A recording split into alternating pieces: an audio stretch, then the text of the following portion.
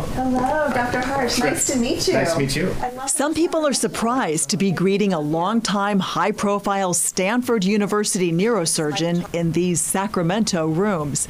Dr. Griffith Harsh says he's making this late career move to head up neurological surgery here because of the global reputation of UC Davis Health. And that's what one thing that makes it so uh, interesting, exciting, is uh, one gets to be at the frontier of scientific discovery, trying to apply that uh, for the benefit of, uh, of the patients, and then passing that on to the next generation of, uh, of neurosurgeons. As an expert in brain tumors, Dr. Harsh plans to focus his leadership in three main areas, including using electrodes in the brain to treat a huge range of conditions. It's been popularized uh, in the treatment of Parkinsonian disease, uh, but also being applied to familial tremor uh, and uh, depression, even obesity.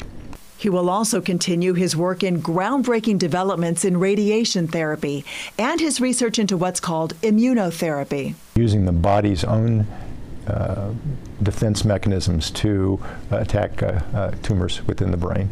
He brings a lot of experience to that work. A Rhodes Scholar and Harvard grad, he has more than 200 scientific publications, and he'll continue to work as a surgeon two days a week.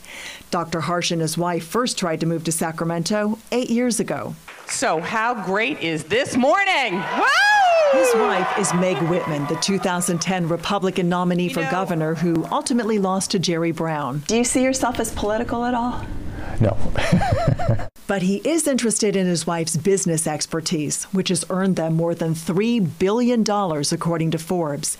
She's the former CEO who made eBay a success, and she just recently stepped down as the CEO of Hewlett Packard.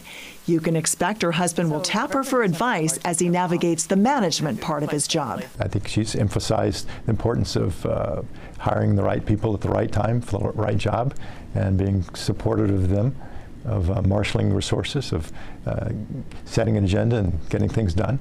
Uh, she's operationally superb, and I've uh, learned a lot simply by watching her over the years.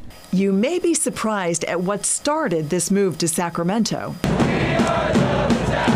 Harsh and Whitman were considering investing in Sac Republic FC to help Sacramento land a Major League Soccer team.